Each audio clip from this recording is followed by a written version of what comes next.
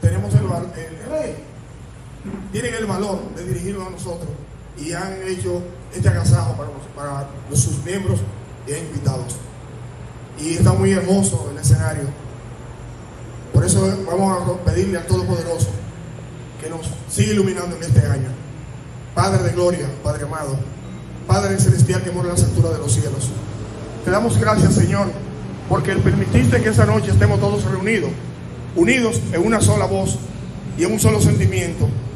Y pedirte en el nombre poderoso de Cristo Jesús que este año nuestro club pueda echar hacia adelante, sin ningún tipo de malicia, sin ningún tipo de malos pensamientos, sino que llevemos todo y hagamos las cosas conforme a tu voluntad.